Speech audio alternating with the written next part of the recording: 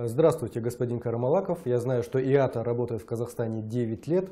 Расскажите, пожалуйста, какие авиакомпании входят в ассоциацию, казахстанские авиакомпании, и какой фронт работы у ИАТА в нашей республике?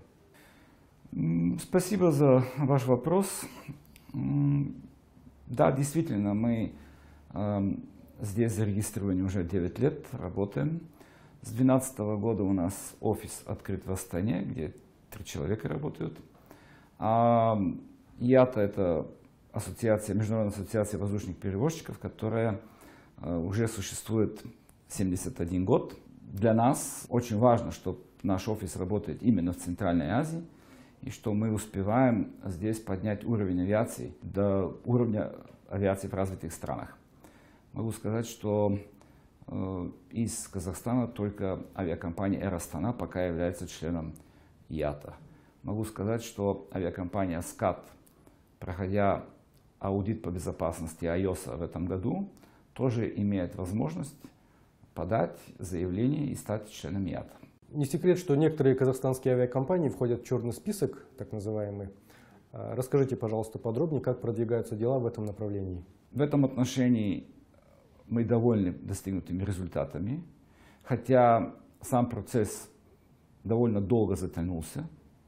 Но в последнее время, прежде всего, когда вступила э, в действие программы настоящего руководства Комитета гражданской авиации Республики Казахстан, прогресс был замечателен.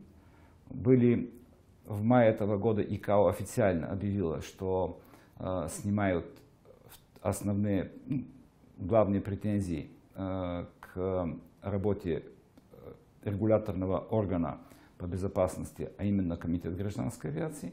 Авиакомпания СКАТ прошла аудит по IOSA. Э, у нас есть два аэропорта, которые прошли аудит по безопасности ИСАГО. Это Караганда и Актау. Авиакомпания Беркут готовится к прохождению аудит, аудита IOSA и тоже мы должны сказать, что Comlux Aviation, а маленький перевозчик, который ориентирован на бизнес а, полеты, прошел тоже аудит по безопасности, который является специфическим для маленьких авиакомпаний. Вот это и, могу сказать, э, делает э, очень хорошее впечатление международной авиационной общественности. А, кстати, насколько успешное ваше сотрудничество с а, правительством Казахстана? Когда наш офис э, только что создавался в Астане в 2012 году, мы провели авиационный день здесь, в Астане, который, э, на котором присутствовали и члены правительства, и ответственные работники.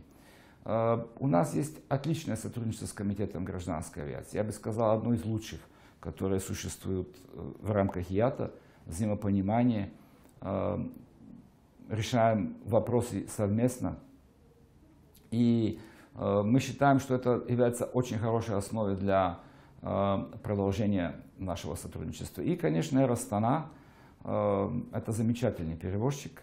Я совершенно откровенно скажу, что это не только что он четыре раза получал международные признания Skytrax, это действительно является перевозчиком высокого международного класса, э, с которым э, Казахстан только может гордиться.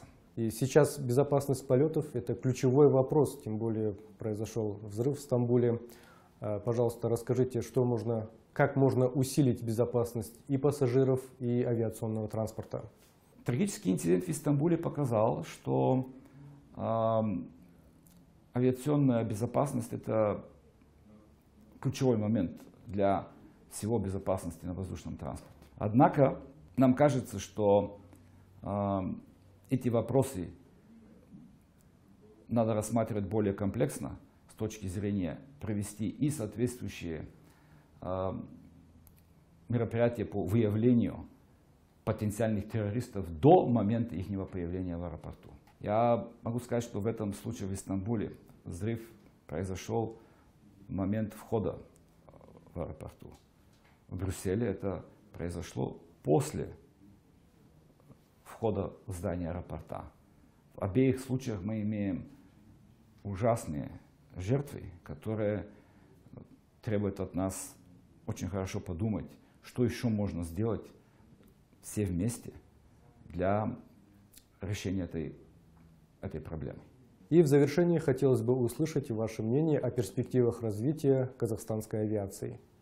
Если мы посмотрим на количество перевозок, если мы посмотрим на количество самолетов, которые находятся в Казахстане, в эксплуатации в Казахстане, и если э, посмотрим на количество рейсов, которые выполняются международных из Казахстана на восток и, и, на, и на запад, соответственно, мы видим, что перспективы огромные. По сравнению с другими странами, авиация Казахстана может увеличить свои объемы в 10 раз в весьма обозримом будущем. Это можно взять доказательства. Примерно э, недавно была информация о развитии авиации в Исландии.